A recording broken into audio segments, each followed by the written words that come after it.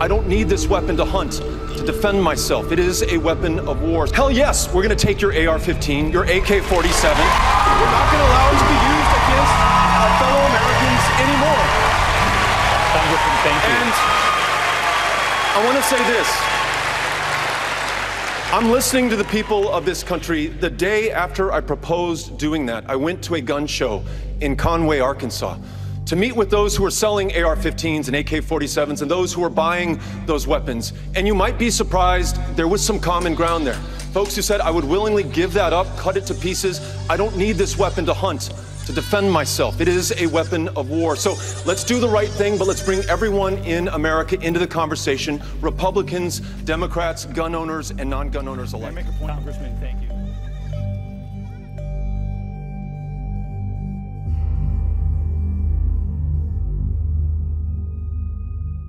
So to, to, to gun owners out there who say, well, a Biden administration means they're going to come for my guns. Bingo. You're right if you have an assault weapon. The fact of the matter is they should be illegal, period.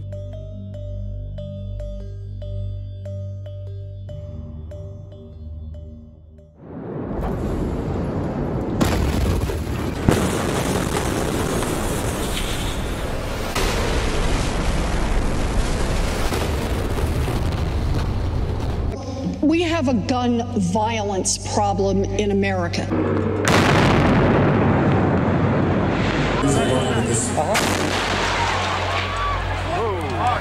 It is about the mass shootings that we hear about in our schools and that frighten us, about in theaters and in churches.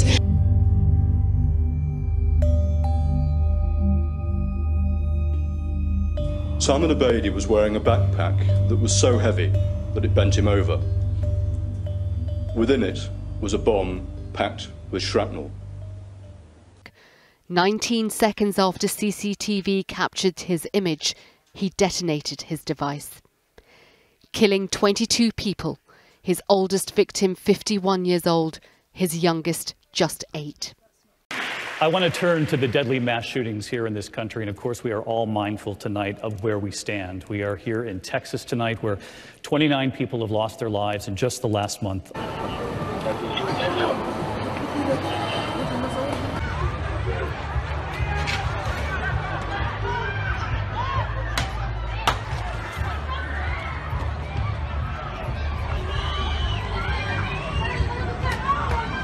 So, my question is as president, how will you go about keeping our schools safe and keeping guns out of the hands of those who should not have them? Thank you, Ben. And I'm sure that there are plenty of students here who, while you were in um, high school, even middle school, that you had to participate in a drill, right? Where you were convened and your teachers taught you about how you need to go and run in a closet because there may be a mass shooter roaming the hallways of your school.